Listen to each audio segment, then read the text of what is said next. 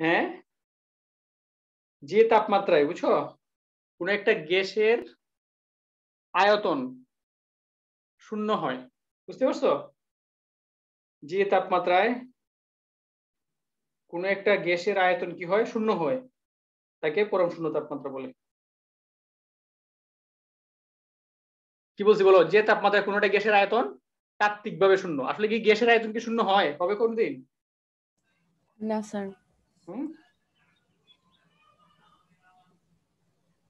গ্যাসের আয়তন কখনোই শূন্য হয় না কারণ গ্যাসের যখন তুমি আয়তন যখন গ্যাসের আয়তন কমায় বা কমালে এক সময় সেটা কি হয়ে যাবে? কঠিন হয়ে যাবে না? হবে কি না? জি স্যার। ওকে তাহলে এই এই জন্য এটা সংজ্ঞায় বলছি আর কি যে তাপমাত্রা কোনো একটা গ্যাসের আয়তন তাত্ত্বিক ভাবে শূন্য আমি একটু দেখাবো না কোন তাপমাত্রা শূন্য হয় এটা। দুই নম্বর প্রশ্ন হচ্ছে লবণ সেতুর ভূমিকা। লবণ সেতু হচ্ছে কি জানো? দুইটা চেম্বারের মধ্যে আয়নিক সাম্যাবস্থা বজায় রাখে। কি করে? দুটি চেম্বারের মধ্যে আয়নিক আয়নিক সাম্যাবস্থা ঠিক বজায় রাখে। যে সেল যে অর্ধ সেল যে দুটি আছে তার মধ্যে আয়নিক যে সাম্যাবস্থা সেটা বজায় রাখে আর কি। তাহলে প্রথম দুটো প্রশ্নের আনসার আমরা পাই গেলাম। যে লবণ সেতু কি সেটা পাইছি? এটা ভূমিকাটা কি সেটা বলছি এখন আমরা দেখো এই তুমি একটু চিন্তা করো অনেকে বলো গ নম্বর প্রশ্নের আনসারটা কি হইতে পারে? এখন দেখো বি হতে বি হতে এ যোগ আমি কিন্তু এখনও বলি নাই যে এ যোগ কি, আর বি যোগ এটা আমরা জানি? জানি না। তার মানে আমাকে এ, বি সম্পর্কে আমার একটা নলেজ লাগবে এটা আনসার করতে হলে। এ, বি কি সেটা আমার ভালো করে জানতে হবে। আমি এই দুটো প্রশ্ন আমি মুছে ফেলতেছি, দেখো একটু। আমরা একটু রিয়াকশনটা লিখব। রিয়াকশনটা লিখব। রিয়াকশন দেখো। যে এ এর সাথে জিঙ্ক রিয়াকশন করে এটা তৈরি করে। এ মানে কি জানো? এটা হচ্ছে ফেনল বুঝতে পারছ? এ হচ্ছে কি? ফেনল। ফেনলের সাথে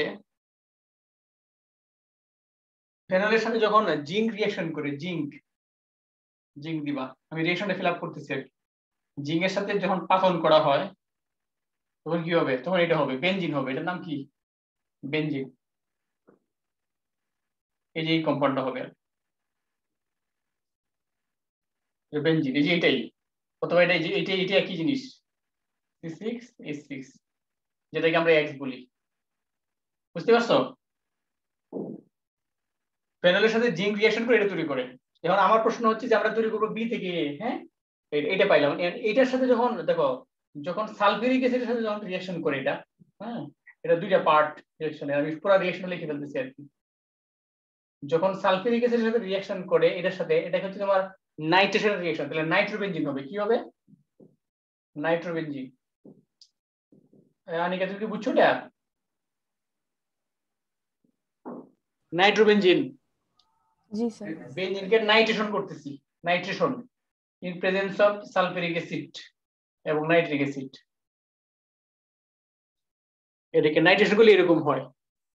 আর এই দিকে একটু খেয়াল করো এখানে এই যে রিয়াকশনটা এই রিয়াকশনের একটা স্পেসিফিক নাম আছে। ঠিক আছে? নিচেটা আমরা মুছেই ফেলি প্রশ্ন তো বুঝে ফেলছি তাই না? বি হতে তৈরি করব আমরা। থেকে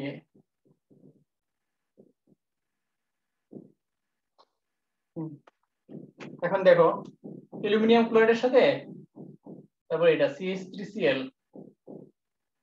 এখানে একটা মানে সাবস্টিটিউশন রিঅ্যাকশন হবে। বেনজিন থেকে এটা টোলিন তৈরি হবে। কি তৈরি হবে? টোলিন এরোমেটিক যৌগ সাধারণত কি ধরনের রিঅ্যাকশন দেয়? টোলিন হবে। মেইন প্রোডাক্ট আর কি। হ্যাঁ এখানে সব পানি হবে আর একটা পানি হবে এখানে। আর এখানে কি হবে? হাইড্রোজেন চলে গেছে একটা। আর এইচসিএল হবে। এই হচ্ছে আমাদের রিঅ্যাকশনটা আমরা দেখাইছি আর কি যে এখানে তাহলে এইটা হচ্ছে আমাদের এক্স এটা হচ্ছে আমাদের বি আর এটা হচ্ছে কি? সি আনিকে, তুমি কি বিক্রিয়াটা বুঝছ জি স্যার ওকে এটা এখন এখন দেখো, আমরা একটু প্রশ্নতে যাই। প্রশ্নটা যেটা বলছি, আমরা এখন প্রশ্ন কি বি থেকে কি ফেনল তৈরি করব, এটা তৈরি করতে চাই। এটা দেখো, এটা কীভাবে তৈরি করে? উল্টা বলছে। আসলে কি তারা বি থেকে এ বলছে কিনা? হ্যাঁ? অথবা না এ থেকে বি বলছে, দেখো। বি হচ্ছে আমাদের কি? নাইট্রোবেনজিন। নাইট্রোবেনজিন থেকে আমি কি বেনজিন বানাইতে পারব? এমন কোন কোন রিয়াকশন আছে? আসলে প্রশ্নটা বলছিল কি জানো? প্রশ্নটা এটাই বলার কথা ছিল যে এ থেকে বি তৈরি। এটা চাইছে প্রশ্নে। বুঝছ? বি থেকে স্যার। তৈরি এটা বলে নাই যে তুমি এই ওটা হচ্ছে তোমার নাইট্রোবেনজিন। নাইট্রোবেনজিন থেকে তুমি ইয়ে করবা অ্যামোনিয়া বানাবা অ্যামোনিয়াম থেকে এটা ওইটা বানানো যাবে দুইটাই বলতে পারে। তো আমার ধারণা এই প্রশ্নে তারা এ থেকে বি কথা বলছে। আর বি থেকে এ বানাইলে একটা প্রসেসটা দেখো আমি বলে দিই এটাও বানানো যাবে বাট এটা বইয়ে নাই আর কি। দেখো বি কি? বি হচ্ছে কি? নাইট্রোবেনজিন না? জি স্যার। ওকে দেখো ওয়ে বানাই, দেখো। নাইট্রোবেনজিন। এটা হচ্ছে আমাদের বি বি তাই না? এটার সাথে দেখো, যদি তুমি এটাকে কিছু রিডাকশন করো টিন আর এইচসিএল দিয়ে, তো তাহলে কি হবে জানো? এনিলিন হবে। এনিলিন NH2 হবে। নাইট্রোবেনজিনকে টিন এবং এইচসিএল এর মাধ্যমে রিডাকশন করলে সেটা হয় এনিলিন এনিলিনকে তুমি যদি zero degree five degree Celsius তাপমাত্রায় বুঝছ? নাইট্রাস অ্যাসিড আর সোডিয়াম নাইট্রেট এই দুইটার মিক্সচারের সাথে যখন রিঅ্যাকশন করবে বুঝছ?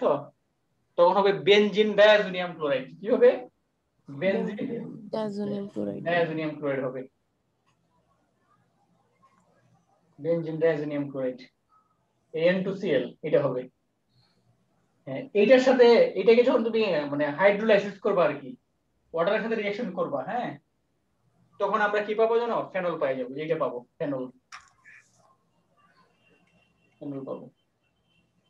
এটা ঠিক আছে? এটা অনেক জটিল প্রশ্ন আর কি ফেনল পাবো।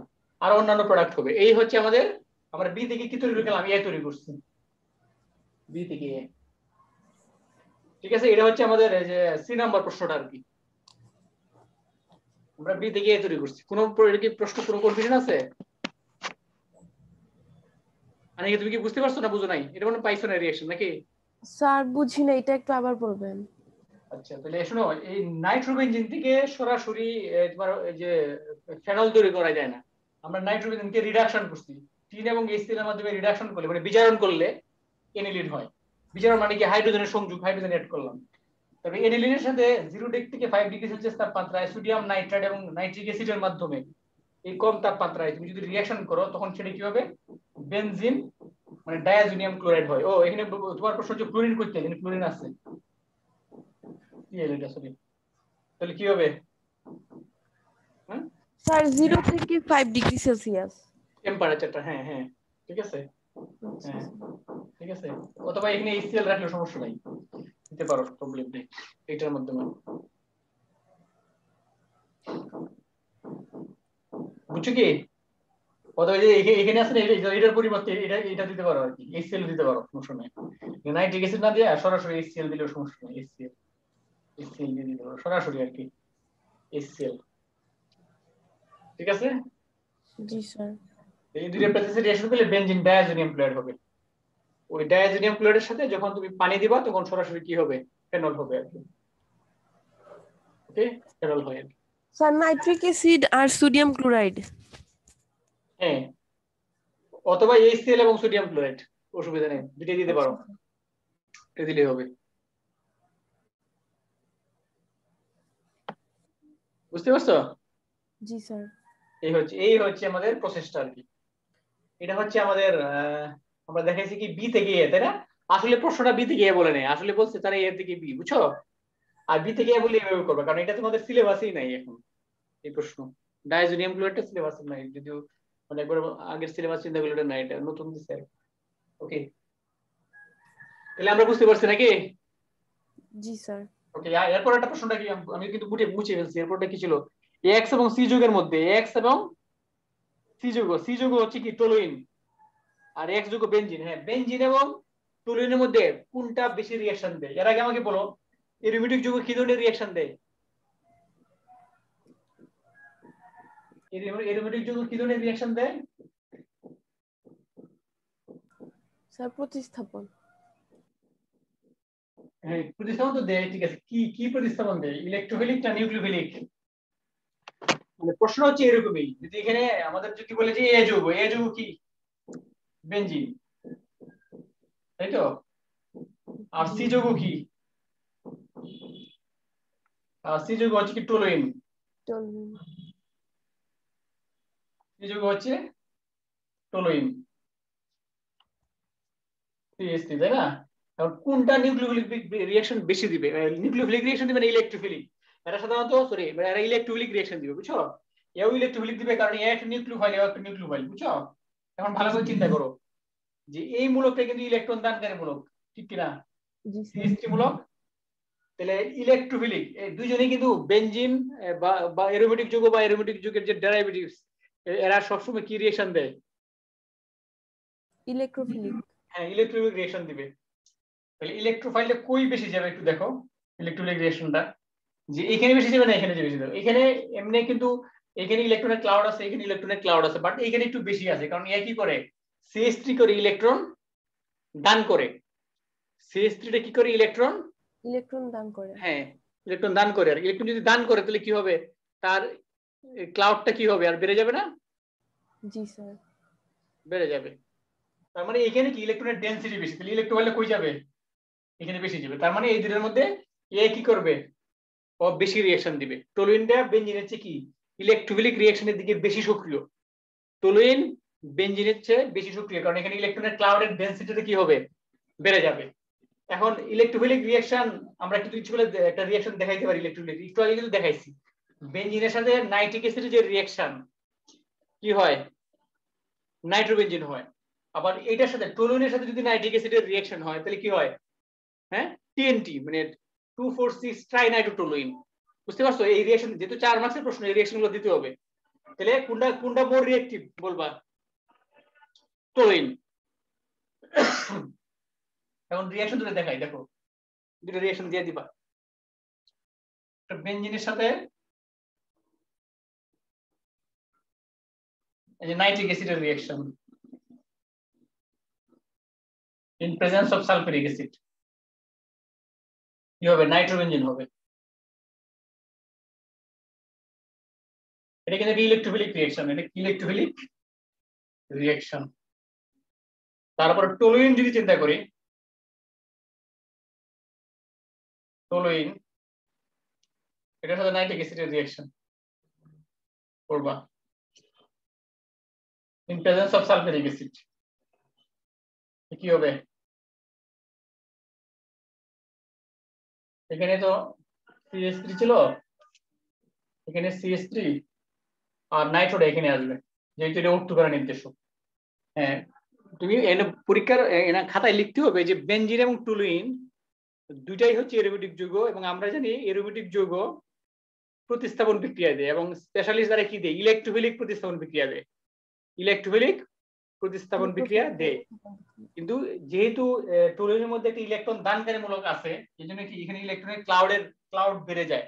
ফলে এখানে কি হয় ইলেকট্রনের ডেন্সিটি অনেক বেড়ে যায় ফলে সে কি করে? মানে এই বেঞ্জিনের চেয়ে এটা বেশি ইলেকট্রোফিলিক রিঅ্যাকশন দিবে। এই জন্য বেশি সক্রিয় কোনটা? টুলুইনটা হচ্ছে বেশি হ্যাঁ টলুইন হচ্ছে টলুইনটা বেশি সক্রিয়। টলুইন কি বেশি সক্রিয়? সক্রিয়। ঠিক আছে? এই হচ্ছে বিষয়টা। মানে তার মানে এটা এটা বেশি কি হবে?